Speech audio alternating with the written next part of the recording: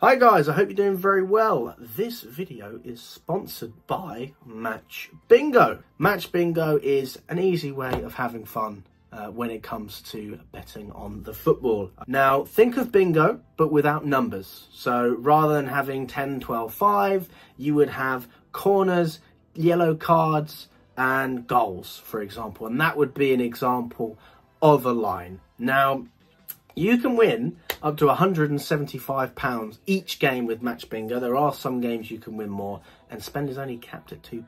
All right, so if you're worried about not playing responsibly, this is probably a good game for you.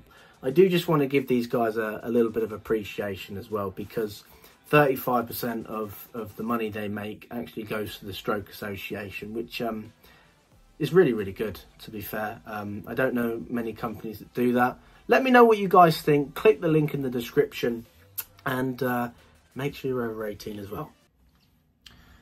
Hello everyone from Chelsea Fan TV. Welcome back to the channel. My name's Alex and uh, got a bit of news for you guys. Got a bit of news regarding Chelsea Women's. Uh, the Chelsea Women's team uh, managed by Emma Hayes, obviously owned by Clearlake and Todd Boehly, the same ownership group that bought the whole club.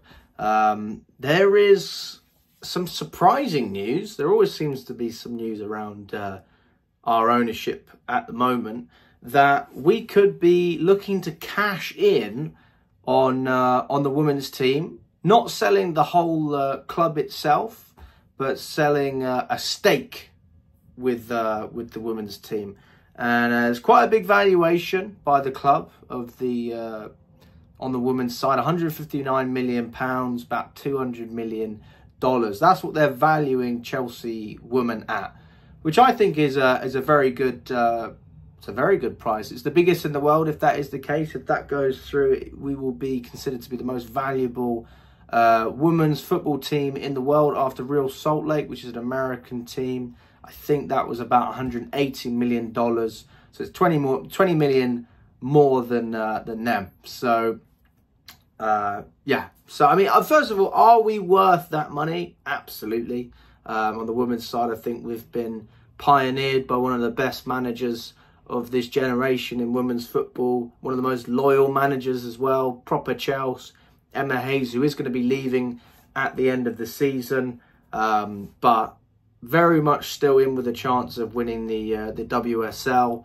It looked like we were out, but we're back in it. Uh, there's not long to go in the season. Hopefully, we can win that trophy um, and sign off with uh, in the right way. Because ultimately, over the 12 years she's been at the club, she's been a winner, and it'd be nice to sign out that way, you know. Um, so, yeah, I mean, it's it's an interesting situation. I mean, it sounds like the club want to sell everything, but they don't. They just want to they want an investment to come in and then use that cash to reinvest uh, into that side of the club, whether it's the facilities or uh, maybe reinvesting in the squad. That's what they said they're going to use the money for, according to uh, the Express. I mean, there's also articles from Sports Pro as well, which is quite a good article. They reference Bloomberg, so they've they've they've got about three investors that are interested uh, in acquiring a stake in the club. Um, one of the main things as well, one of the main factors to bear into this is the investors that are coming in, the ones that we're looking to accept aren't just going to be any old investor. We want investors that specifically have an interest in women's football. Uh, so this will become a theme uh, with a number of clubs. We're not actually the first club to look to to go down that route. You've got Lyon in France, which is uh, owned separately from the owner of the men's team. There's there's a there's a separate owner for the women's team, and will be similar. Uh, although the current ownership group with Eghbali and Boehly, etc., they are still going to have a stake in the uh, in the women's team, but they just lose a bit of control at board level. So, in terms of some of the footballing decisions, that power won't necessarily be there, but they'll still have uh, shares. So as the value of, of the women's team goes up, the equity that they still have will, will continue to go up as well. So it's not like, you know, they're getting rid of everything. They're just getting rid of a decent chunk of of the women's team. Uh, there's no percentage or anything like that that's come out. Uh, I would love to say it's X amount, but that number hasn't actually come out uh, as of yet. There's a lot of people that are critical of this at the moment because it does come across that the owners are solely interested in in in the financial side of of uh, of the women's team. They're not looking to benefit, but as I said before, uh, they are looking to try and reinvest that money back into the squad or the team. Um, that's just according to the reports that I've read. Uh, you know, there's a lot of growth in the women's game at the moment. Every season we go and we look at Stamford Bridge. They they sell out games. Um, the women's team at Stamford Bridge, obviously, we've got Kingsmeadow as well, which has nowhere near the capacity of Stamford Bridge. Um, the women's game is is growing. It's certainly getting to a stage where investors are sniffing around and looking to find new opportunities to get into football, maybe at a cheaper price uh, than they would be able to in the men's game. Obviously, if we were looking for investors to come into Chelsea at the moment, we wouldn't be talking about hundreds of millions.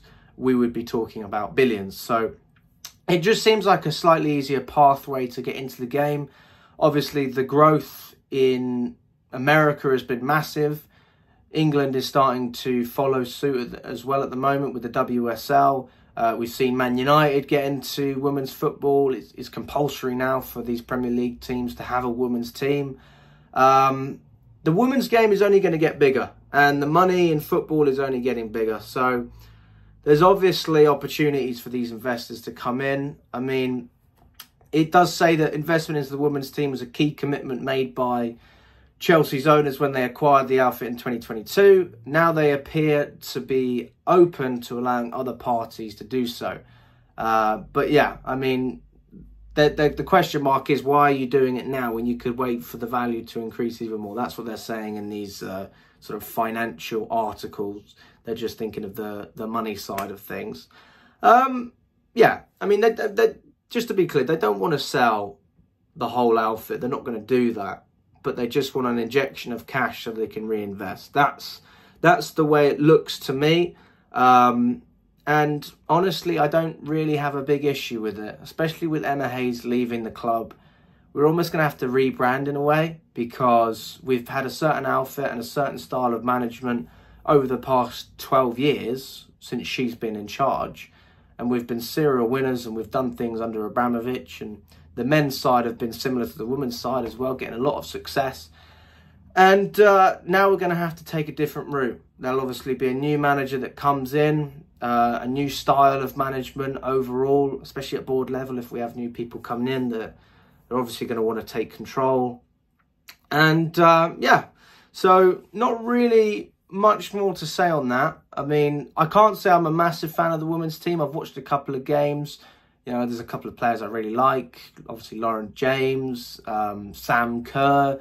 Yeah, we've got some big names. Um, and hopefully it remains that, that way and we can continue to reinvest in the best and keep growing our women's team. But this is something where time will tell. And uh, yeah, as it stands, that's the situation at the moment. And if you agree with that, and if you think it's the right thing to get a cash injection, uh, let me know if you disagree with that and you think the ownership should just focus on what they can do rather than having someone else come in and have more seats around the table.